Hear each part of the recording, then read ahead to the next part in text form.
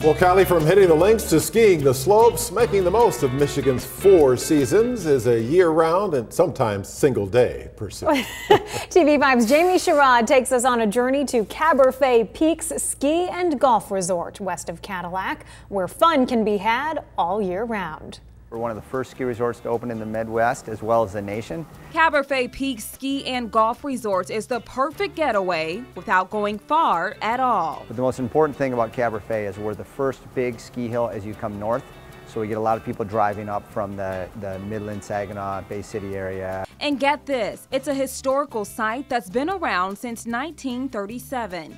Since then, many upgrades have been made including new ski lifts, additional lodging, a heated pool, and hot tub. We've been able to update it and improve Caberfae and make it a much better ski resort than it was. And as you can imagine, business is booming during the winter season, catering not only to the pros, but first timers as well. So it's fun to see the, the skiers coming out and the snowboarders coming out, enjoying the quality of snow, enjoying the, the new lifts that we put in recently, uh, and really, really leaving with smiles on their faces, uh, all at a, an affordable price. Plus, guests can enjoy an incredible view they won't find anywhere else. I call it the best view in the lower peninsula, so when you're on the top of our two peaks, because all you can see is undeveloped land. It's all Manistee National Forest all the way around us. And come springtime, golfers can tee off. So we have a nine-hole golf course on site and it's all bent grass, tees, greens, and fairways. Not only is this a golf and ski resort, but it's a popular destination for weddings.